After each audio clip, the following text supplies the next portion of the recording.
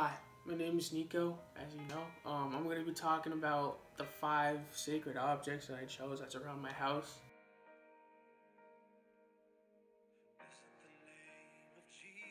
So the first one that I chose for my house is my cross necklace, which I got from my grandparents, which they lived in Italy at the time.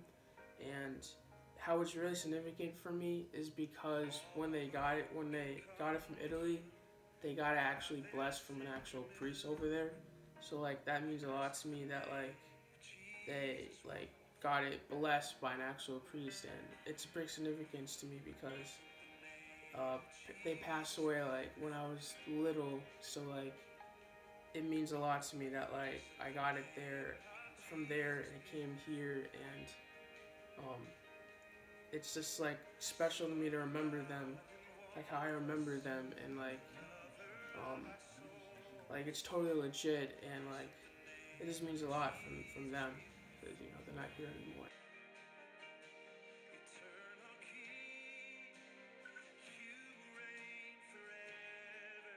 So my second object that I chose was my rosary beads that I got from my godfather when I was first baptized.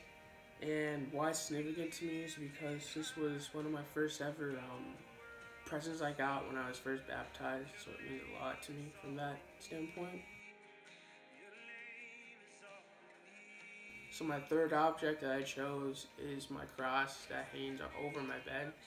And why it's significant to me is because actually it was um, from my parents' wedding back in 1995 when I got married at All Saints Church and was actually uh, blessed by the priest himself. So uh, that's pretty significant in my household for that reason. And that also what I do before I go to bed is I usually look above it and I usually like pray for like if someone I know is like sick or is in need or has like cancer or something that I know of, I usually like do like a couple Hail, Hail Marys or, or so. And um, that's what I usually do before I go to bed sometimes. So my fourth object that I chose in my house is the Bible. And um, this Bible, I really don't know how I got it, but like it's a Bible, so um, how I how it's significant to me is that also when I go to bed, uh, usually sometimes what I do is I close my eyes and I just open it up, and while I close my eyes, I just put my finger on, on a certain page, and I look at that verse and I read it a couple times, like we do in class. and We read a couple verses discuss about it. I kind of do something similar to that, but to my own like style, I guess. So, um, yeah, like a Bible is, you know, it's really important to like learn about Jesus and like what he does and stuff, and like it's really interesting about like the history that's in it too.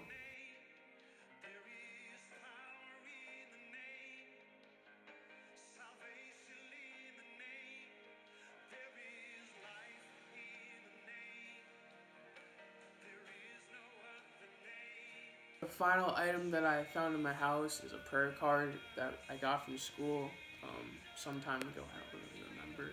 But basically, like, why it's significant to me is because this guy, he talks about how he prays for a church, but not just for the church. He prays for, like, neighborhoods, parishes, schools, the community.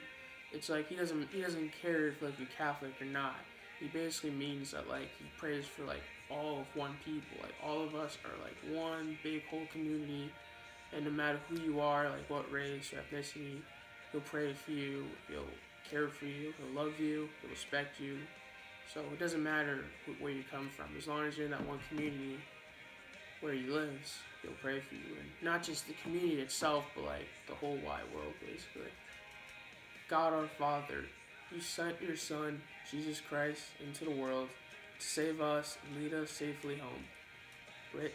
Raise up from among your people faithful sons and daughters suited to serve as priests and religious, the pastoral and spiritual needs of your people.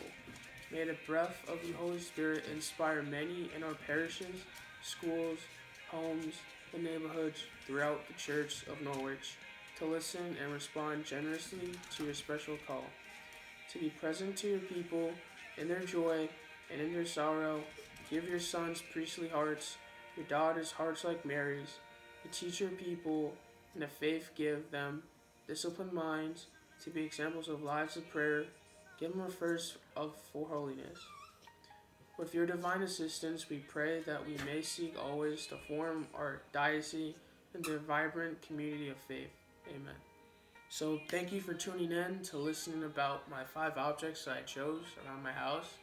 Um, yeah, I hope you have a blessed day. In the name of the Father, Son, Holy Spirit. Amen. God bless.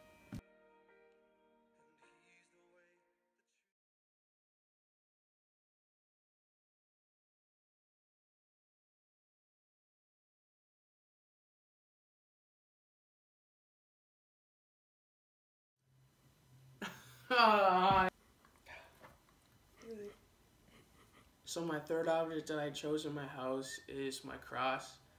That is. Wait. Hope you have a very blessed day.